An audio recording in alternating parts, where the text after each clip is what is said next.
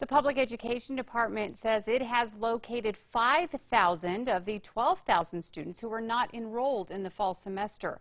They say after conducting data cross checks, they found those nearly 5,000 students were either being homeschooled, had enrolled in a private school, or had moved out of state. Officials are still trying to locate and reach the remaining 7,260. At this point, they are still unaccounted for.